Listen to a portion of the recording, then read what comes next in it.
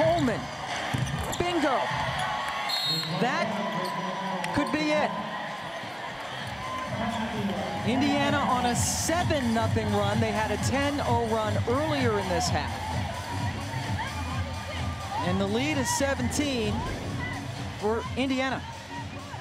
Coleman found, seems to find her shot at the right time. She has played with a lot of confidence in this game three.